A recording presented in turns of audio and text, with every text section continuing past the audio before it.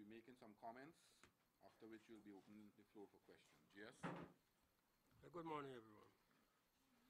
I'd like to start off with Mr. Granger's pronouncement that Guyana will, quote-unquote, soon be a safer place. This is like offering Guyanese a pie in the sky. For example, bandits are now at the gates of the United Nations Development Program, UNDP. International public servants are now under attack. Hotels where tourists stay are under attack. The shopkeeper is under attack, so is the farmer. Residents within the peace of their homes are under attack, so are countless others. The criminals are here, there, and everywhere. They are omnipresent. First, Granger called for a crime fighting plan. Secondly, we were told that the plan was with Ramjattan. Thirdly, we were told that the plan was with the National Security Council, which Granger chairs. Fourthly, that the plan was with the Commissioner of Police to be tweaked. Fifthly, that the plan was to be made public. And sixthly, that there is no plan. In fact, there was never a plan. It was all a plan of deception that lasted for one year and a half. Now we are told that soon a security sector reform action plan will kick off. But there are more questions than answers in respect to this plan. What about the financing of this plan? Who will finance the plan? Will the plan be financed solely from the government coffers? How much will the British government contribute? How long is the plan for? And what are the key components of the plan? And finally, will the plan be made public? We were recently told by the Commissioner of Police acting that the SWAT team is part of, quote unquote, a holistic crime fighting strategy. What strategy is he talking about? Is there one? If so, why has it not been made public, or at least shared with stakeholders, as they promised they would? Perhaps there is none. And former Commissioner Police Felix had once said that Guyana does not need a SWAT team. Now, the police at the highest level are singing praises to the existence of the SWAT team set up by the PPPC administration. In fact, there was even talk of disbanding the SWAT team. On another matter, Mr. Dataram's disappearance is a slap in the face of the Granger administration, who had recklessly legitimized his questionable bona fides by setting up a commission of inquiry into the allegations he, Dataram, made against CANU. The first slap in Granger's face was when the commission of inquiry came up empty-handed. Now, after 16 months in government, and notwithstanding all the rattle-tattle while in opposition, that there was no National Drug Strategy Master Plan, when in fact there was one,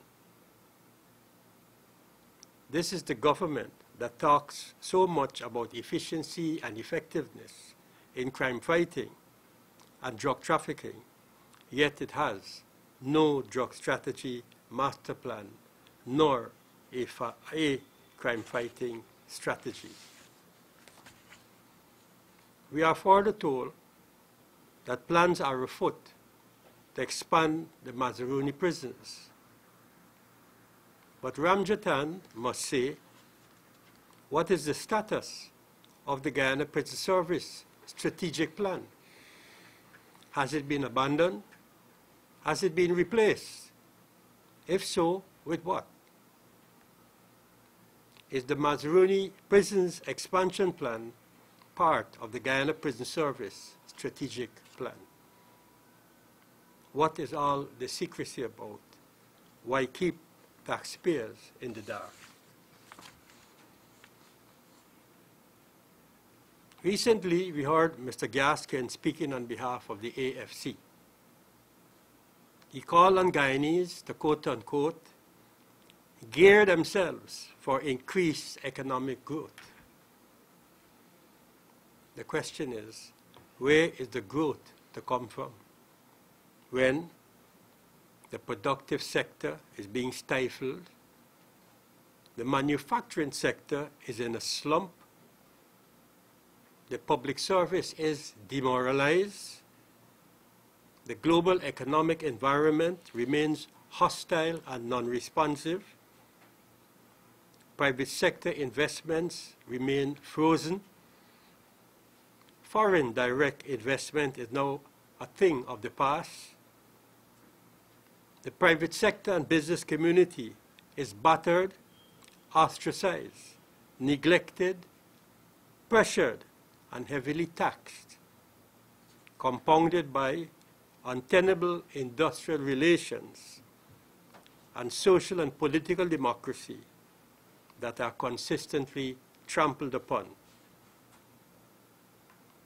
The government is now coming under pressure from the Private Sector Commission, the trade unions, the Guyana Gold and Diamond Miners Association, the political opposition, who are all pressing for solutions to address, for example, labor relations, matters affecting the business community, challenges in the mining sector, and political and racial discrimination and witch hunting.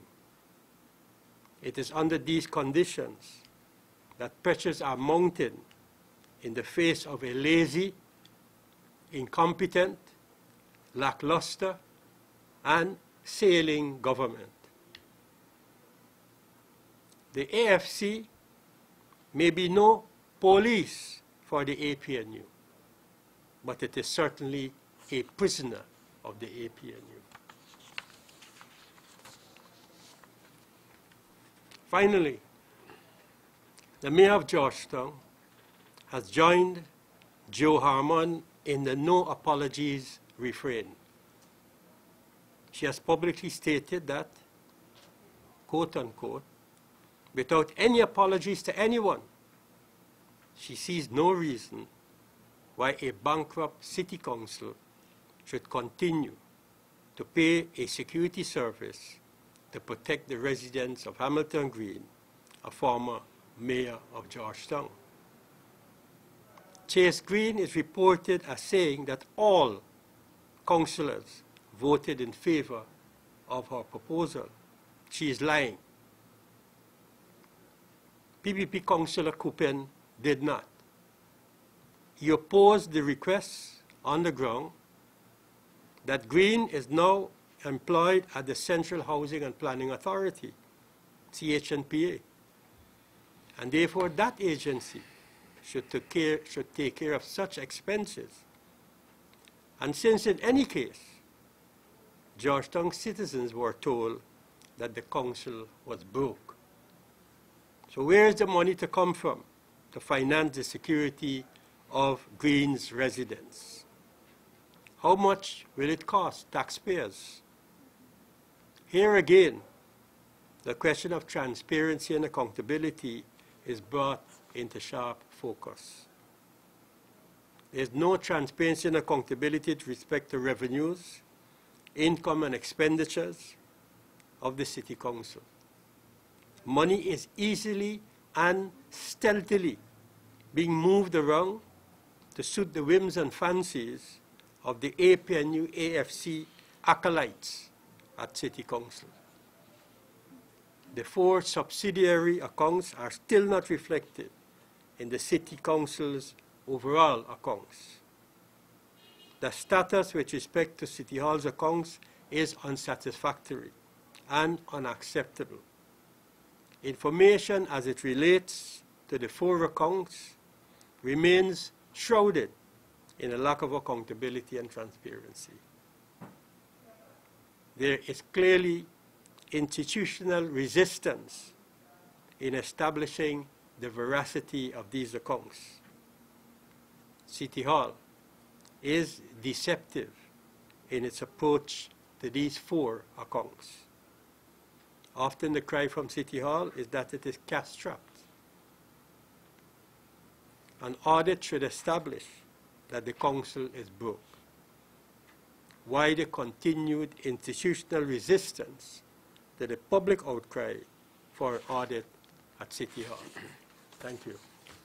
Okay, thanks, and those were comments by the GS on a number of issues. Now we'll open the floor for the question. Who will be the first? Ronald Gandhi News. Um, so he, do you think the police has stated that since the launch of Operation Safeway, 1,500 persons have been brought in questioning and prosecution? Do you think that this is a success? I think it's a little too early. I saw something in the media where the police was already crowing about how many uh, cases they've had to deal with. In less than a month, or in less than two weeks after the Operation Safeway was, grand, was, uh, was launched. I think it's a little too early. I mean, you know, these things need time. There's a specific period of time over which you need to make the comparative analysis between the corresponding period of one specific time of the current year and last year.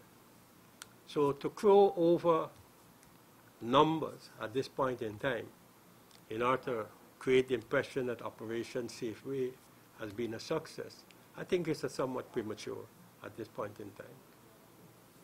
Madam Harris, to pick you up on your same thing about specific period of time needed to make comparative analysis. The same police used a period of time to show that crime was on the decline and you refused to accept that.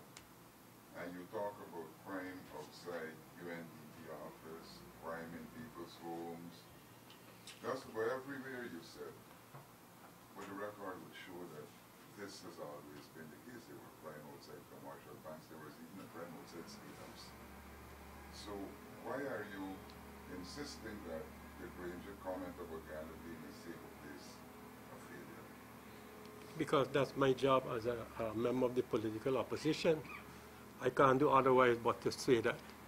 I'm not going to praise Granger's crime fighting policy because I don't know if there's one in the first place. I don't know about a robbery right in front of UNDP when we were in the government. So uh, Granger was free to speak about what he wanted to speak about when they were in the opposition and nobody questioned them. Well, we're doing the questioning now. Every government must be, be made accountable. They wanted to get in the government to deal with the crime situation. Are they dealing with it? That's the question. The views of the people out there, up to yesterday, I was at, moving around the, the city, and people were talking about the crime situation. So we are just expressing and reflecting what the public opinion is all about. Mr. Roy and Shawada Mario. Sir, uh, I noticed you mentioned the departure of uh. Mr. Uh-huh. Um, I mentioned what? you mentioned about the departure of Mr. Dataram. No, I didn't, I didn't use that word though. This is a slap in the face. Disappearance is a slap in the I face. didn't use departure. Disappearance. Oh, okay. Disappearance. Mm. Could you elaborate? Hold me to my words. hold me to my words because there is a tendency by some journalists to change my words and substitute it with their words. I would like my words to be used whenever I'm being quoted. Oh, so then, what do you mean by the, what evidence do you have that he disappeared as opposed to departed? What is the question?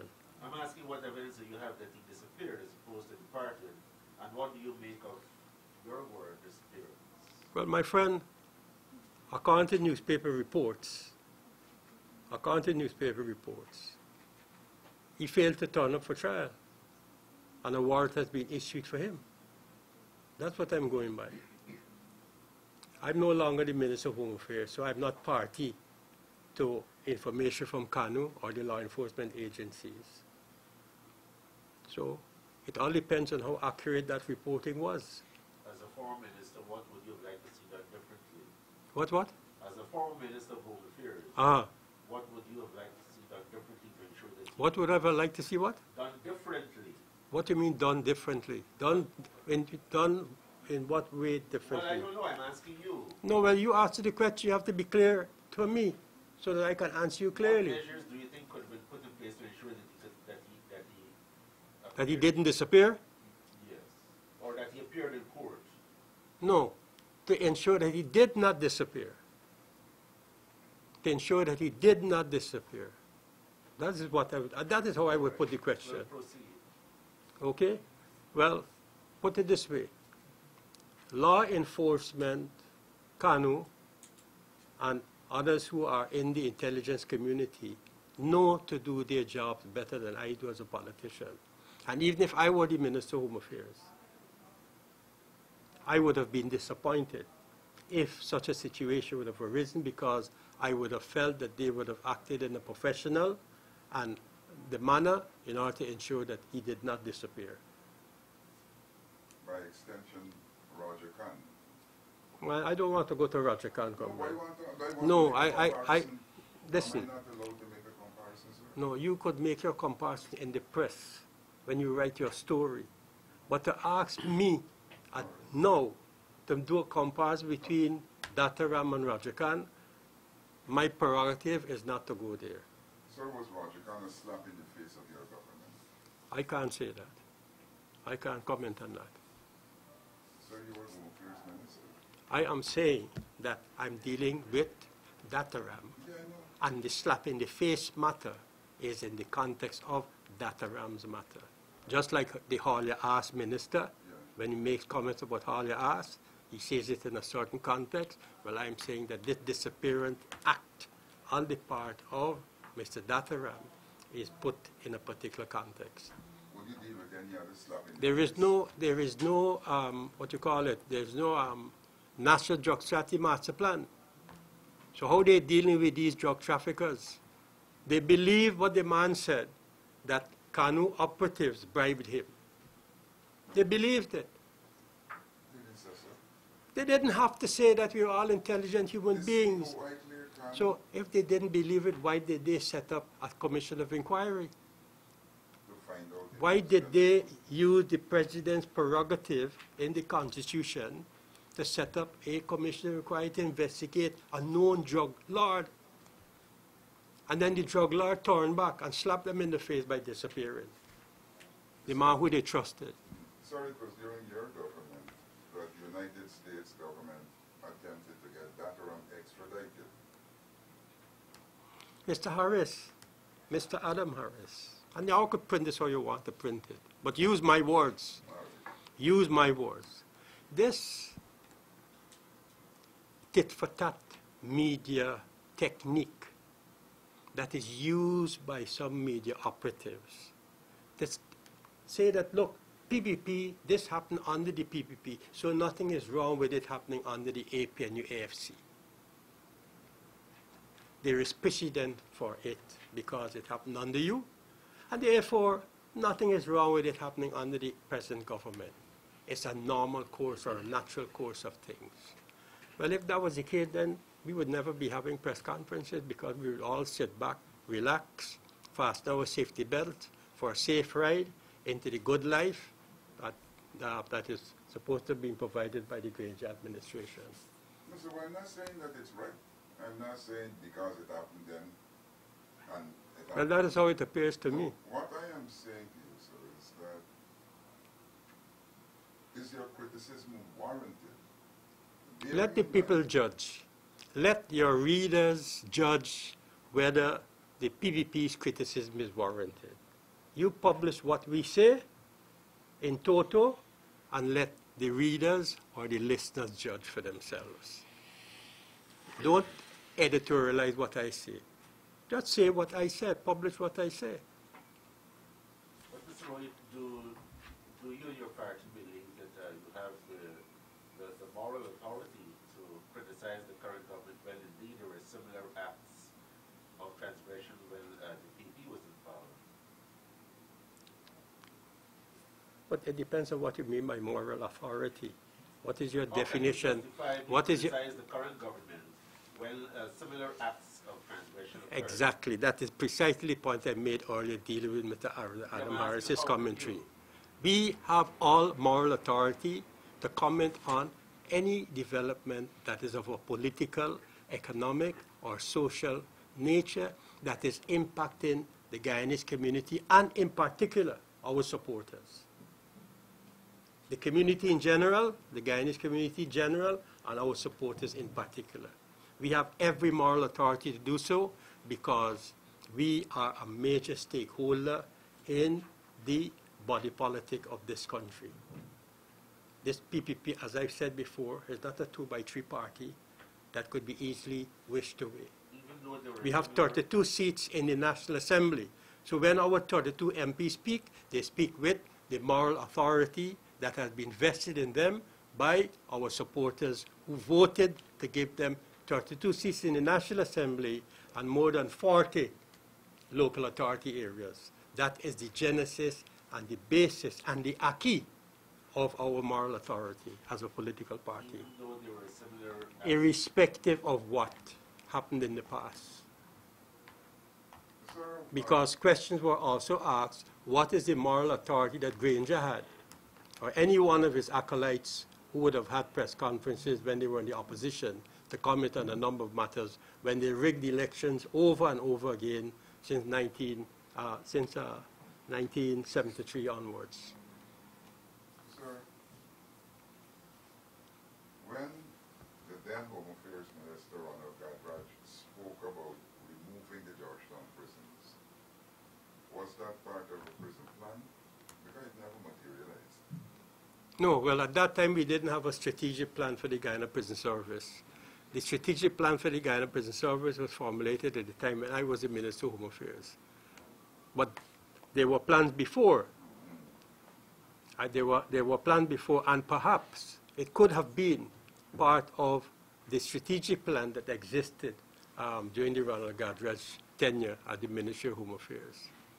And what did your plan suggest for the prison service? Well, it was a very big plan, you know, it's on the website. I don't know if they pulled it down for shame, um, for, shame, uh, for, the, uh, for, for reasons of shame. Do you remember anything at all that you had planned for the prisons? the Oh, yes, plenty things. You want, I, we could hold a special press conference on that one. And just tell me two things now, Two things. that you had planned for the prison. Number one was Lusignan.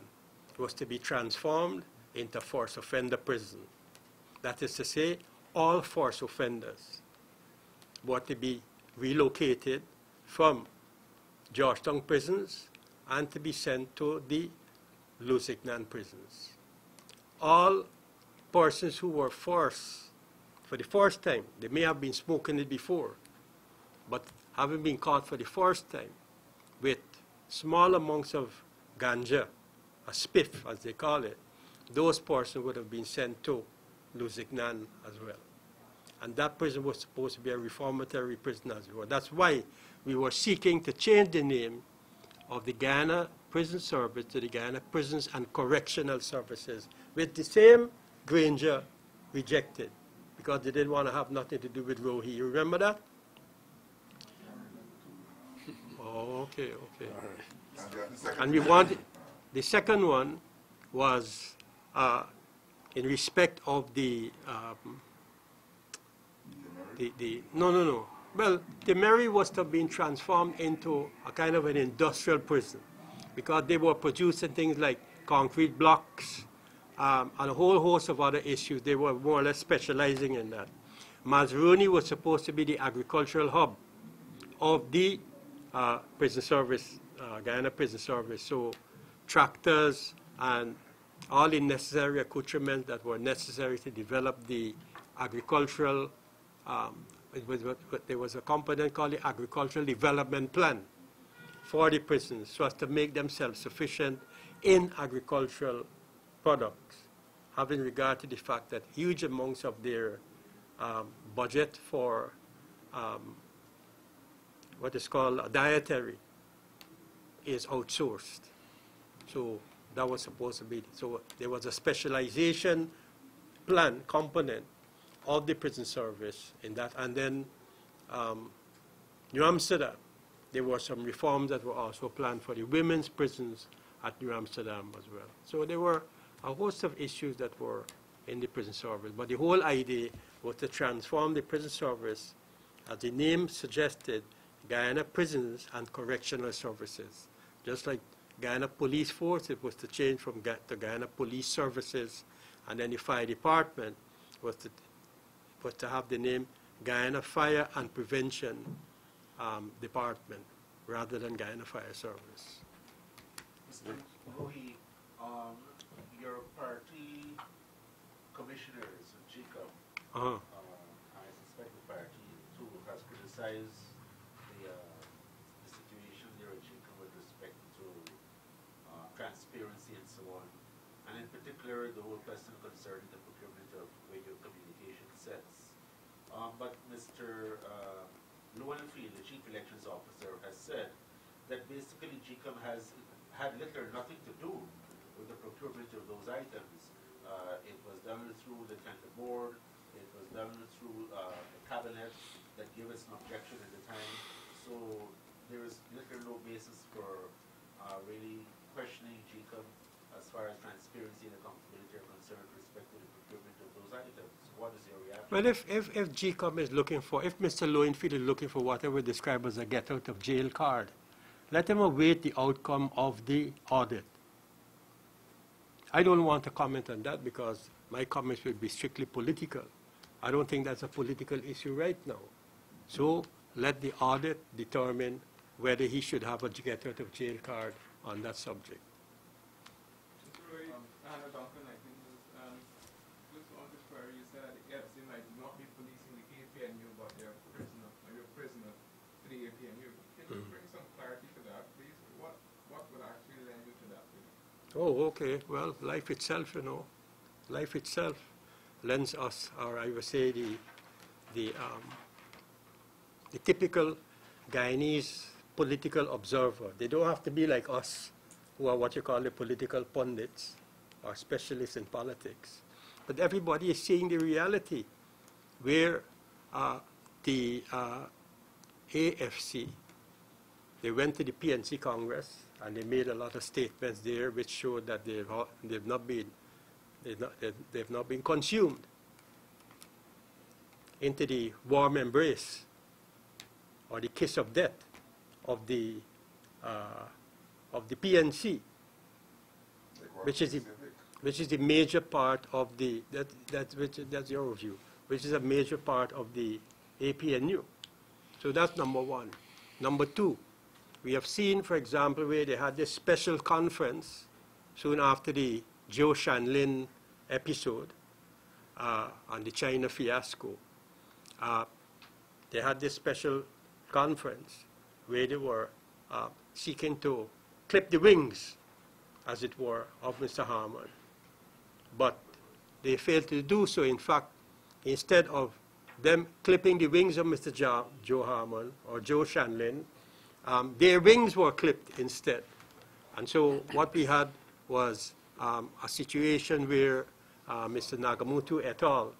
Uh, began, you know, embarking on some what we would what we've described as singing for your supper tunes uh, for quite some time, and then we had the situation with uh, the, the, where, Mr. Nagamootoo was supposed to chair cabinet, And Mr. Granger was made to understand, read the Riot Act and told him in no uncertain terms, even referred to him the Constitution. I understand a copy of the Constitution was shown to Mr. Nagamootoo, telling him, you know, uh, that as a constitutional, as a lawyer, he is expected to know that it's the president that chairs cabinet and not the prime minister. Only when the president is abroad, out of the jurisdiction, if a cabinet meeting is held, and it's the president that determines whether cabinet is being held or not in his absence. So you don't really get to chair cabinet meetings even when the president is abroad. So this is here, so you're related to me. No, the first one is factual in the sense that he does not chair cabinet meetings. That's factual. Where is colleague say otherwise? The one about him being told by Granger, well, that's deep throat information. Where is colleague say that um, there are occasions when he would chair cabinet even in the presence of... Well, that his colleagues could say anything. His colleagues were the ones who defended Norton in the, in the commission of inquiry that was set up to investigate the bond issue. You know, so it's all of we are one family, APNU, AFC story. Yes, you will say back sneak round for this. Yeah. So, Mr. Roy, can I ask you with respect to GECOM again? Uh-huh. Uh, can you say, can you say that if your party is deliberately concocted a story to target Mr. Uh, Mr. Lowenfield? Our party, the PPP, is not in the business of concocting stories. We're not in that business. So forget about that. So how, so then on what basis? I can't answer that, Mr. Thing. I'm No, saying, no, you, I'm about you, ask the question. no, you You just asked a question, you just asked the question. another question. Just a minute, one at a time. Una pregunta a la vez. Sí. I'm saying that we are not in the business of concocting stories because we are a responsible party. Even if you concoct a story, you are the one that will eventually discover that the story was not true. And then you will come to us and said, you know, big headlines, Kaieteur News, Stabroek News, um, Demerara Waves, and, and, and throw it in our faces. We can't afford that at this point in time. So That's the next question. So, Mr. Roy, if, you, if the party has not concocted a story against Mr. Lowenfield, Hmm. then on what basis did it uh, arrive at its conclusion that there was a lack of transparency in the procurement process um, in light of the fact that uh, your cabinet secretary at the time, the cabinet offered no objection, um, it was a role for the tender board and so on, and of course it was not a budget agency at that time. It came under the scrutiny of the Ministry of Finance. Well, I don't know where you're getting your information from. You obviously spoke to Mr. Lowenfield. I have not spoken to Mr. Lowenfield, so I would prefer to steer clear of that, and as I said before, to leave it in the hands of the auditors, let the auditors present their report, so we could, you know, pronounce more authoritatively. All right, so, but uh, aside from my references to Mr. Lowenfield, on what basis did the party come to the conclusion that there was a lack of transparency? Well, we heard the commissioners themselves speak at a meeting here, a press conference, that they were not party to any discussions on these matters. So I would say, you know, we give the benefit of, of the doubt to our commissioners. We believe what our commissioners say. Are you in a position, sir, to say what operated in GECOM while your party was in government? How did GECOM operate? Rather, um, A a big question. what, what year you mentioning? Show the right, period? Let's go to, let's go from 2011 to 2015 chart. If GCOM wanted something, go about acquiring those things? Well, usually the uh, cabinet paper would come to cabinet, and the head of the presidential secretariat would deal with it at the cabinet. In this case, don't ask me if this one was done like that. I can't say. Because remember, remember, I read somewhere where they said that this was a last minute something that appeared suddenly. I can't say because I was here dealing with electoral issues all the time. So, you know, we were already in an electoral mood, and the office of the president, everybody was busy with. I'm not saying that because they were busy, what had to be done was not done. But as far as I'm concerned, I was at Freedom House most of the time dealing with electoral issues. Even during cabinet sessions? You are implying that that is a matter that went there. I just told you, Adam, that if you're seeking to have an explanation or to, or if you're seeking to um, suggest that what Mr. Lowenfield may have said, or if you're seeking to get from me then, if you're seeking to get from me something to um, resonate with Mr. Lowenfield vis-à-vis the role of government and cabinet, you won't get that from me. I can't provide you with Does the that. party want Mr. Lowenfield that We've already said in a public statement that Mr. Lowenfield's contract should not be renewed. We said that. We issued an official statement saying that. Um, Mr. You mentioned that monies are being uh, put around to satisfy the whims and fancies of the APNU um, government. Can you give some examples? No, no, no. Uh, This was, this was in relation to the city council. Yeah, I wasn't speaking in general. I, my statement or words on that matter was restricted mainly to what is happening at city council in the context of lack of transparency and accountability because if these people are saying that city council is broke, how come they're finding money to travel every time out the country, ever so often? And number two, they're finding money to pay a guard service to protect Mr. Hamilton Green's residence. So I am saying there's some inconsistency here. On the one hand, there's no money, but on the other hand, there's money to do certain things for their political friends and colleagues. So that's why we have concluded that the money is being used, that money is there, contrary to what they're saying about money not being there and it is being used to satisfy their, their political whims and fancies. Any other question? If not, ladies and Of the, gentlemen, anything of the, of the statement, of those comments, Adam, work out everything. like. No, no, I ain't know when I go get you. All right, um, if there's no other question, I want to invite the press tomorrow. We have two picketing exercises, one at the High Court at 11 and another at GECOM at 12. We begin the High Court Well, we got the elections petition case. We live in a democracy, we have a Thank right. you very much. You know, you know, I always know when you got